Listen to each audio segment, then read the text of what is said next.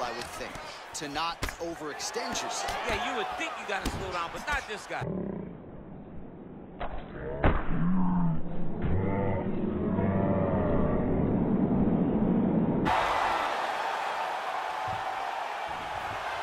All right, he's got the feet on the hips now, DC, in a pretty good position to get out, I would think, if he so chooses.